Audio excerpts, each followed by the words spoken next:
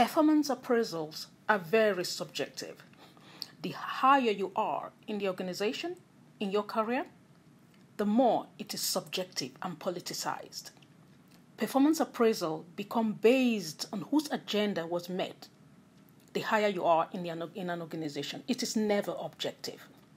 In my career, I've had the best performance appraisal and the worst from a simple, single, the same action and deliverables in my job. In my career, which basically is supporting countries in the context of humanitarian needs, I've, my approach has always been to build the capacity of the countries where I've served to address their own humanitarian issues.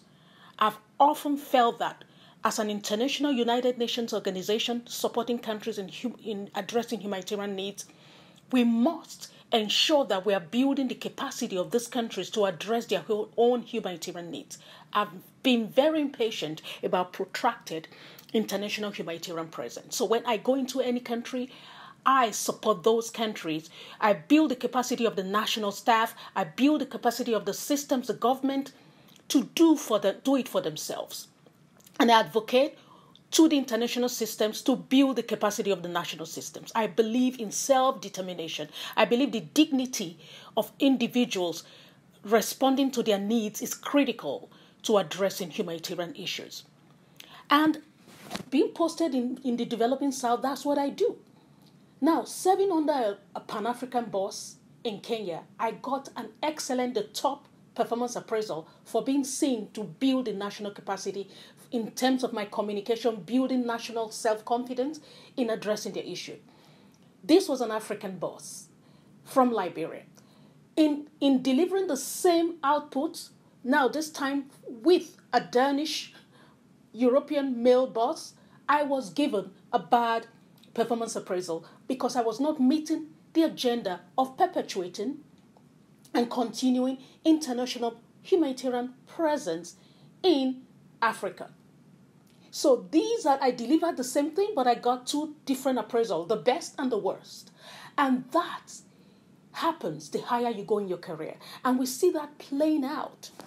We see that playing out with the response to COVID 19 under the leadership of the African, the Ethiopian head, Director General of the World Health Organization.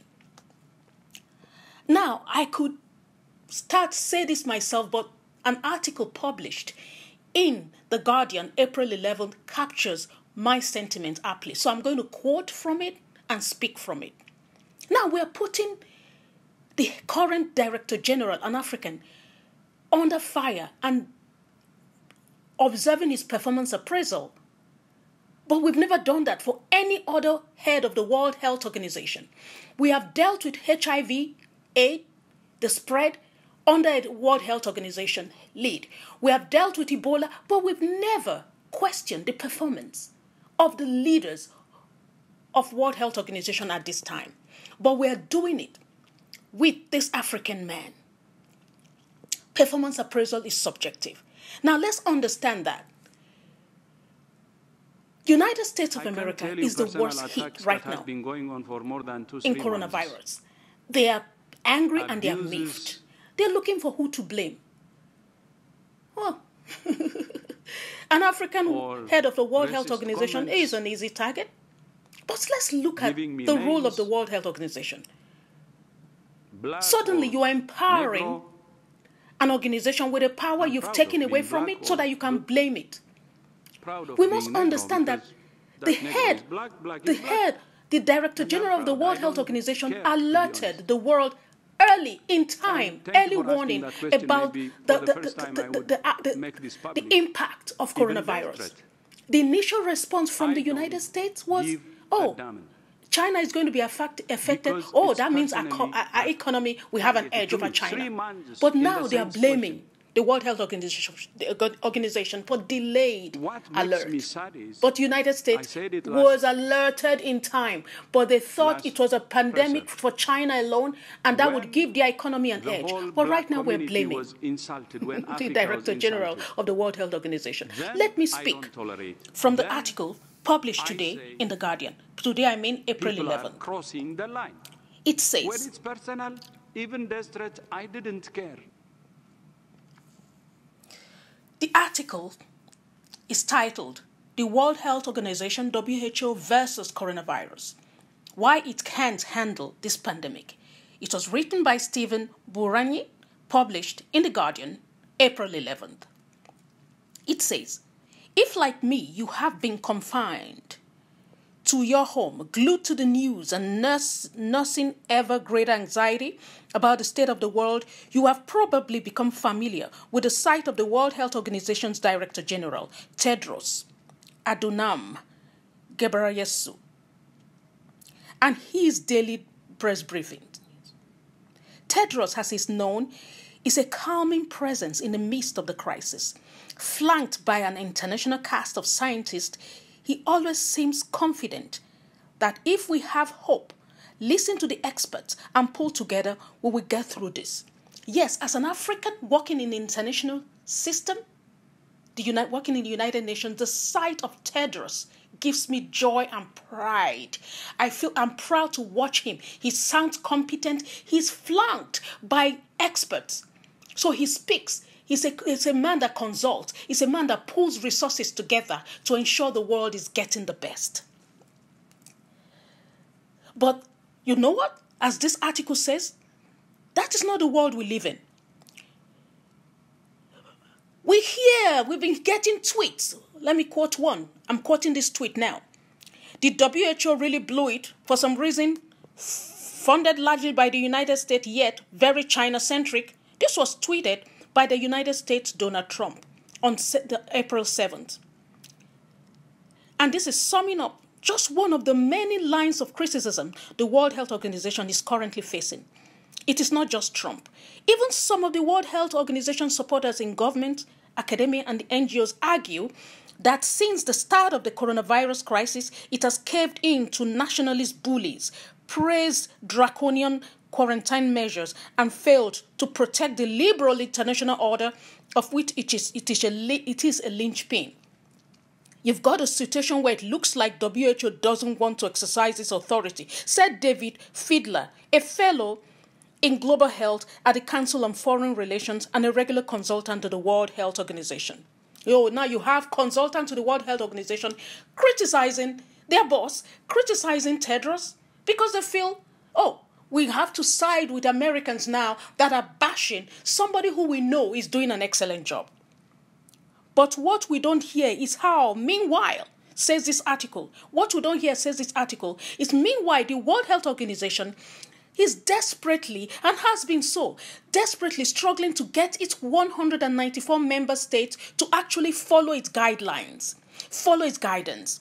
The World Health Organization's leaders are very frustrated, said John Mackenzie, a virologist and advisor to, to, on the World Health Organization Emergency Response Committee. The messages come out loud and clear, and some disregard the warnings. The US largely did, the UK largely did. The United States of America, that is facing an onslaught of coronavirus, ignored the warning of the World Health Organization and is now blaming it for the pandemic, for the wildfire spread of the pandemic. You're blaming a source you refuse to, you undermine, and you refuse to listen to. There's a simple reason for this. For all the responsibility vested in the World Health Organization, it has little power. And countries like the United States of America took that power from the World Health Organization that the United States of America is now blaming from, from, for the spread of coronavirus in the United States. The United States refused to listen to the World Health Organization and is now blaming the World Health Organization for the spread. The World Health Organization has no power because countries like the United States have treated it so. Unlike international bodies such as the World Bank Organization, the World Health Organization, which is a specialist body of the United Nations, has no ability to bind or sanction its members. Its annual operating budget is, a, is just $2 billion. $2 billion. And this is smaller than many of the university hospitals in the United States. And is split among many public health and research projects. The World Health Organization is less like a military general or elected leader with a strong mandate and more like an underpaid sports coach, worry of losing the dressing room. Yes.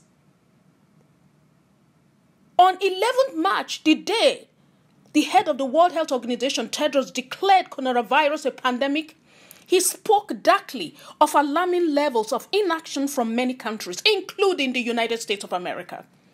Pressed by journalists to name them, Mike Ryan, the usually no nonsense Irish trauma doctor who heads the World Health Organization COVID 19 response, demurred. You know who you are, he said, adding that we don't criticize our member states in public. If we don't criticize, if WHO is so cautious in not criticizing its member states in public, should we back off, blaming the World Health Organization for what it is not responsible for? We should stop blaming the head of the World Health Organization, Tedros, for what he's not responsible for. His presence, his coming presence in this time of the coronavirus crisis has been a blessing to the world. He's been calmed, consultative. He's done an excellent job. He should not be blamed for the mistakes from the lack for, for the inaction from the United States. They delayed in acting. Rather than blaming and name calling, the United States should just get on track. Learn from China, who's been able to level the curve on the spread of coronavirus. This is not a time for blame game. Definitely, this is not a time for racism and racist blame game and racist performance appraisals. We see through it icon. And my girl about a 10. I should fuck her in the Benz.